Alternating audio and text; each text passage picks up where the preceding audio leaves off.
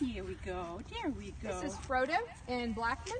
Frodo's our little corgi mix, and Blackmon is our black lab mix. Blackmon has been used as our tester dog several times because he's so just mild-mannered, even-tempered. Good boy, Frodo. Good boy. Uh-oh. tree. Who's that? Who's that? And today is Saturday, November 30th. That was great. See, he's he, Debbie Anderson.